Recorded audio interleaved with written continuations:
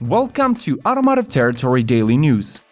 With the recent presentation of Tesla Semi, the world of cargo transportation has gained a remarkable competitor. It goes without saying that the future of heavy-duty trucks is electric and autonomous. But Tesla is not the only green vehicle that will be changing the landscape of trucking on our planet.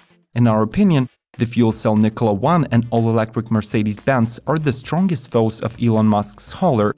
Today we'll review all three of these giants and would like to ask you which one is going to become an undisputed leader on the market. Is it the conglomerate-backed Mercedes, a young but very potential Nikola, or will Tesla destroy everyone once again?